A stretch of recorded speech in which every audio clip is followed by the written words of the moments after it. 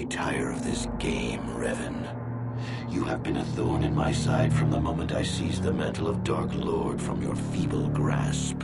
You made a mistake coming here, Revan. The Star Forge fuels my command of the dark side. You are no match for me here, and this time you will not escape.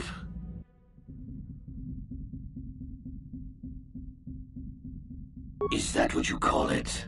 You think stripping away your power and your identity was an act of mercy, Revan? I would rather die. Spoken like a true slave of the Jedi Code. Save your preaching, Revan. I will have none of it. You are an insignificant speck beneath my notice. I have surpassed you in every way and accomplished what you never could. I have unleashed the full potential of this Rakatan factory. You had no idea of the power within this place. Its very walls are alive with dark side energies. And now, my old master, I will let the Star Forge itself destroy you.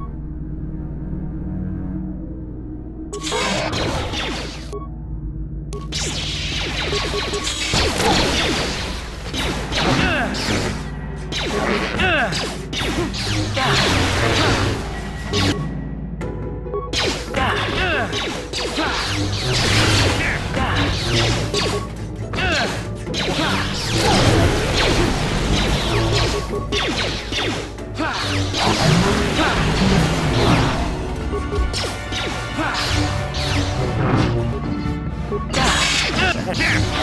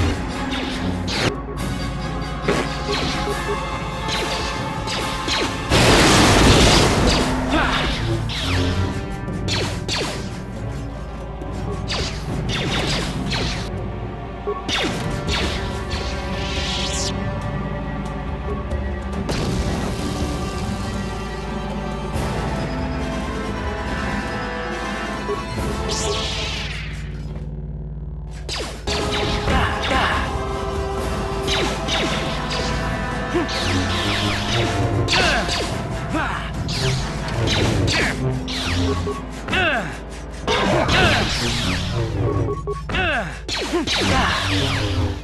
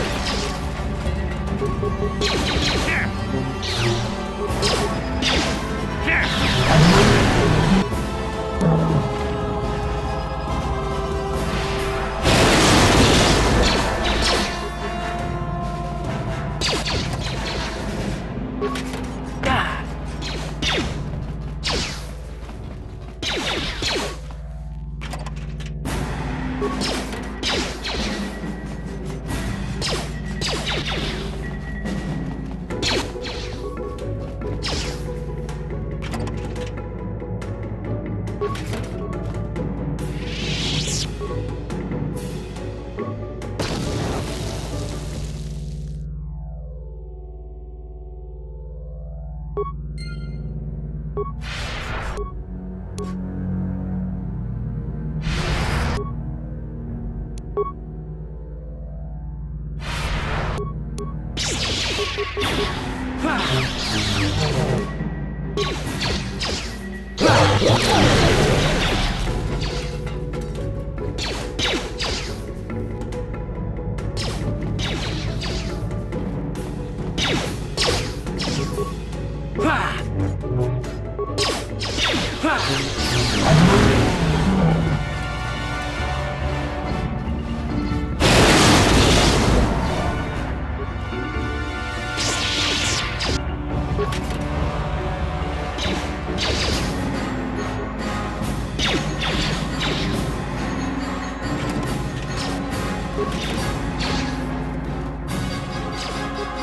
Oh,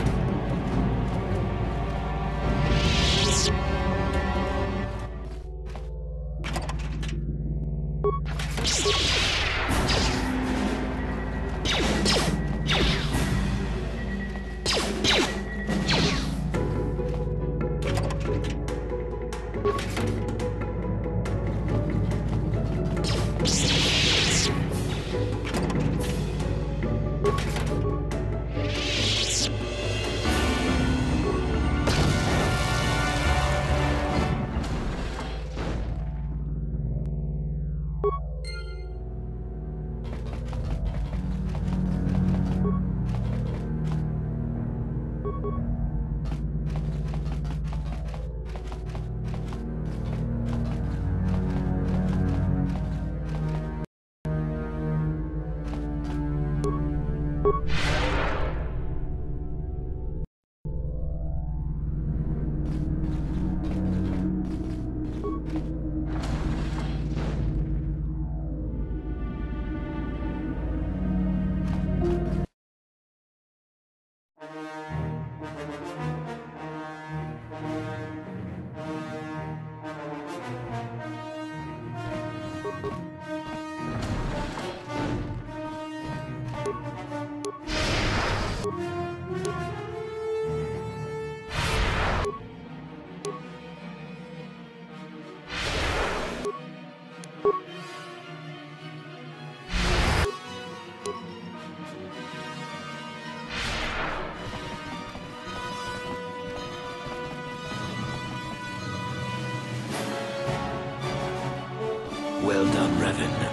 I was certain the defenses of the Star Starforge would destroy you.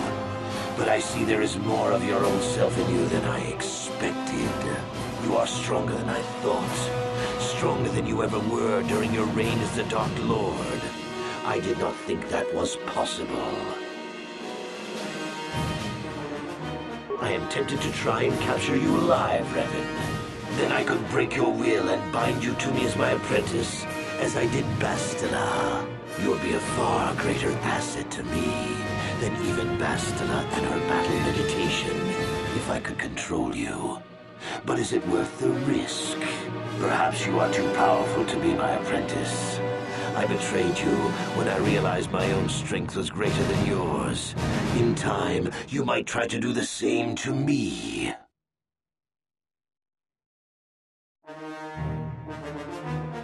Foolish words. The darkness and the light wage a constant war within you. The balance is tipped one way now, but it can easily be tipped back. Savior, conqueror, hero, villain, you are all things, Revan, and yet you are nothing. In the end, you belong to neither the light nor the darkness. You will forever stand alone. Of course. What else do you have? Fate and destiny have conspired to keep you alive despite my best efforts. They have thrust you into the role of savior. We have been inexorably pushed to this final confrontation, Revan. I see now that this can only be settled when one of us destroys the other. Once again, we shall face each other in single combat, and the victor will decide the fate of the galaxy. You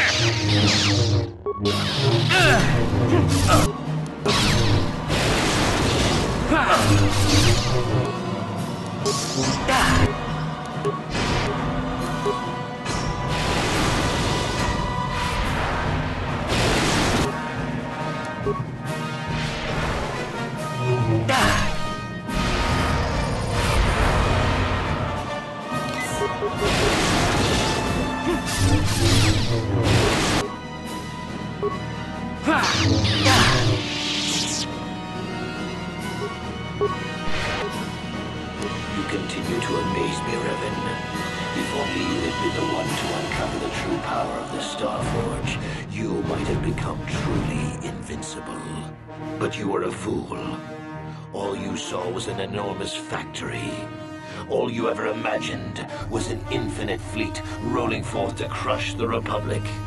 You are blind, Revan. Blind and stupid. The Starforge is more than just a space station. In some ways, it is like a living creature. It hungers, and it can feed on the dark side that is within all of us. Look around you, Revan. See the bodies? You should recognize them from the Academy. These are Jedi who fell when I attacked Dantooine. For all intents and purposes, dead except for one difference. I have not let them become one with the Force. Instead, I have brought them here. The Starforge corrupts what remains of their power and transfers the Dark Taint to me.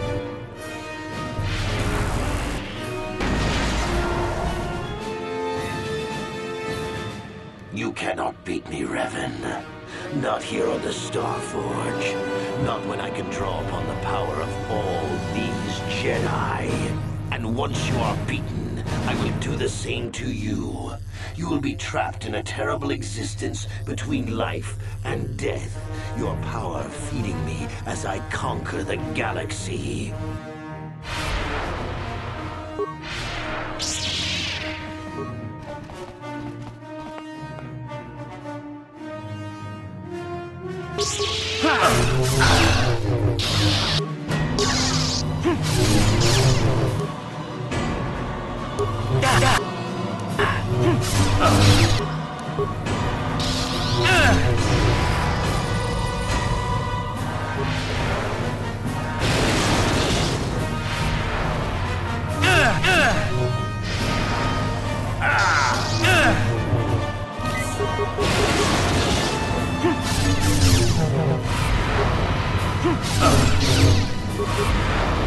Ah!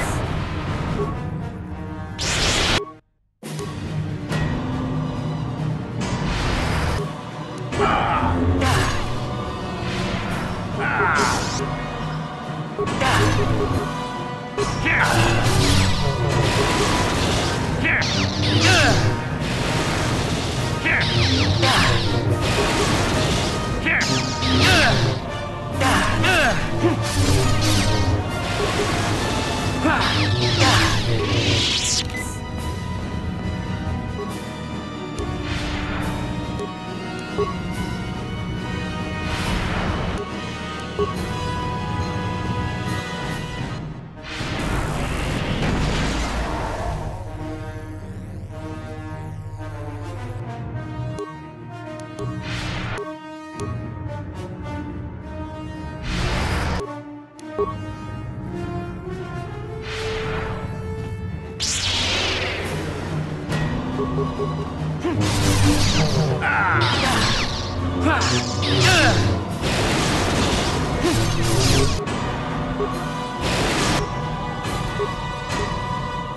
Here!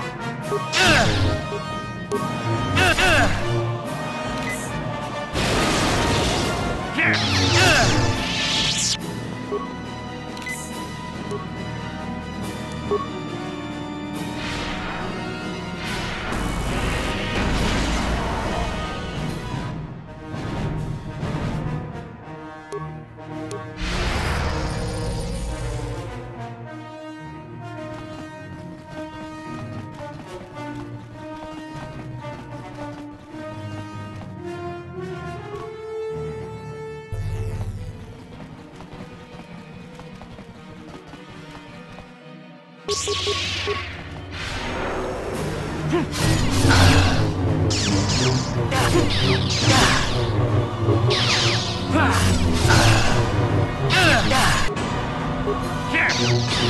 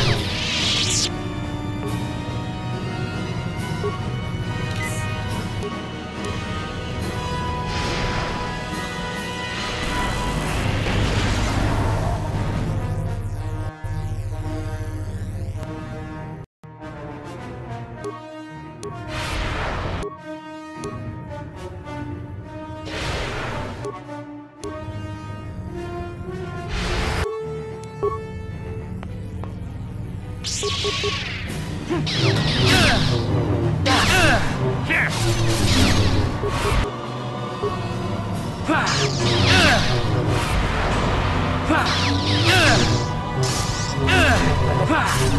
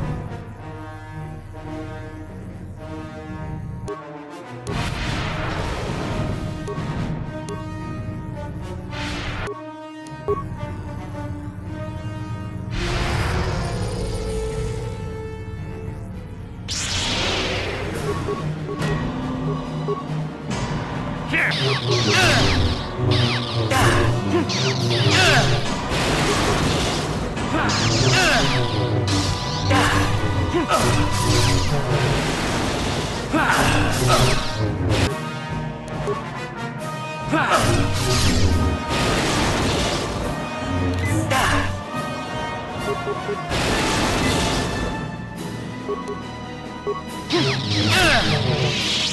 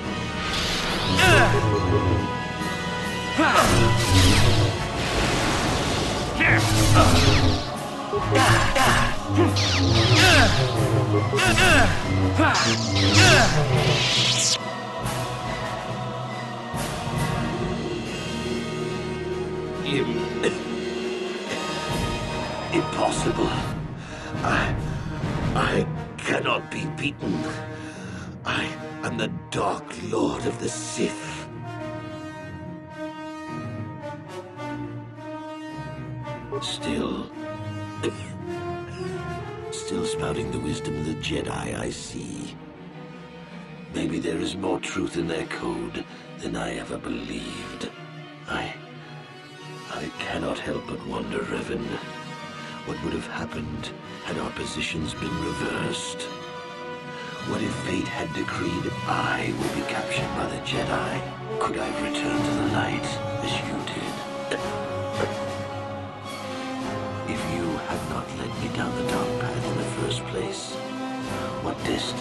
I have found?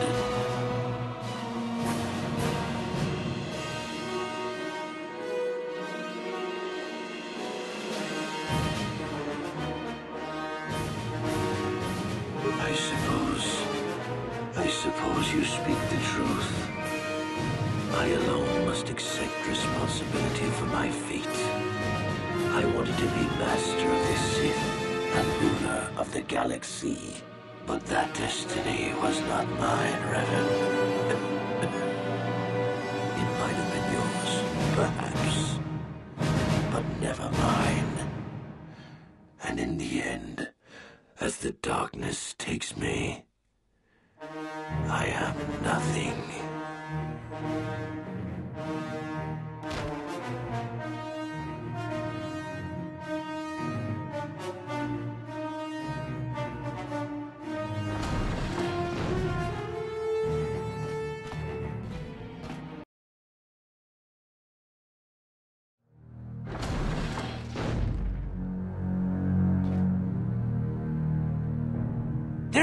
What happened?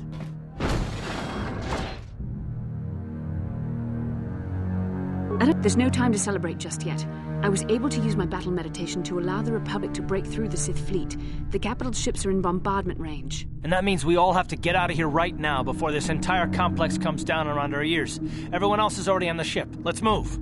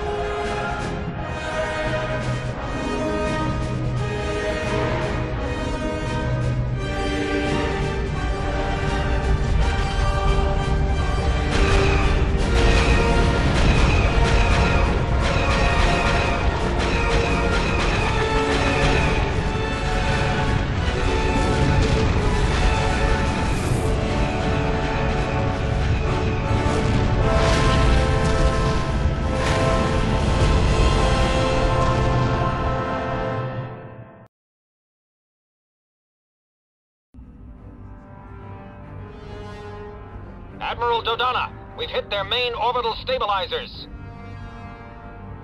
Everyone pull back. I don't want to lose any ships when that space station goes down. We did it, Vandar. The Sith are routed and the Starforge destroyed. But at what cost, Admiral? Where is the Ebon Hawk and her crew?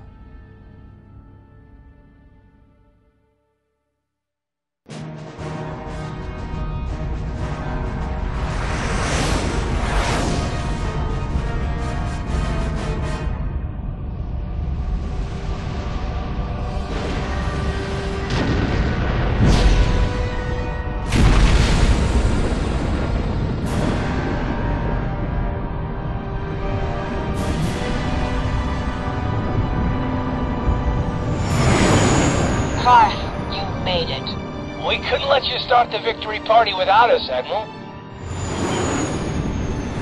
I'm sending an honor guard to escort you in. You'll be getting a hero's welcome when we all get home.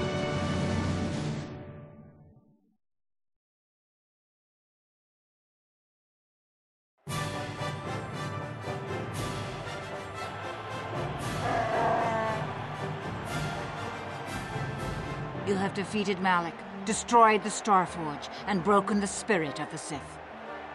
For this, I am proud to present you each with the Cross of Glory, the highest honor the Republic can bestow. From Coruscant to the farthest reaches of the Outer Rims, you will be known as the saviors of the Republic.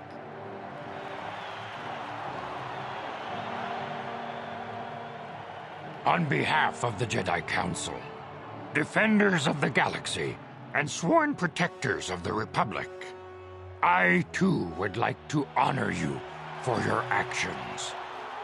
We Jedi now have another tale to weave into the grand history of our eternal order. The redemption of Revan, the prodigal knight. Wherever you go, you will be recognized as the saviors of the galaxy, the heroes of our age. But you must remain ever vigilant. For one day, you may be called upon yet again to defend the glory of the Republic against the tyranny of the dark side. For this is the destiny of the Jedi.